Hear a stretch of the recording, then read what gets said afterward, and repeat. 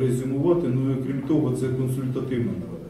Е, Єдині е, висновки, які наразі можна зробити, я думаю, що ви з ними погодитесь, що яскравого спротиву у громад області, от, е, сигналів про те, що відбуваються якісь масові, масовий спротив, я не почув.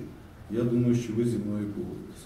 Стосовно того, е, як думають представники територіальних громад, чи має приступати до обов'язків, чи не має, от, е, зрозуміло, ми почули тут е, декілька варіантів думок. Зокрема, була думка про те, що оскільки є призначений міністром, нехай приступає до обов'язків, наводить лад в області.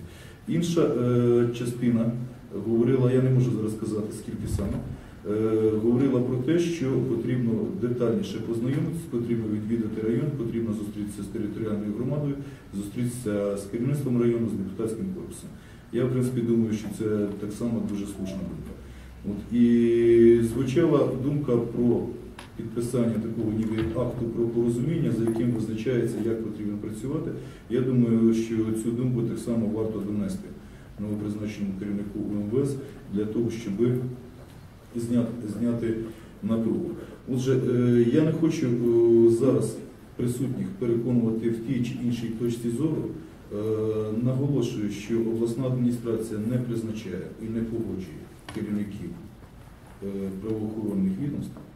Це прерогатива міністра. Оскільки до обласної адміністрації звернулися представники громадських організацій, як, які займають протилежні точки зору, як одну точку зору, так і другу, от ми були змушені виступити таким своєрідним арбітром. Але оскільки е, тут мають сказати своє слово представники територіальних громад, ми надали журналістам можливість е, почути висловлювання представників територіальних громад.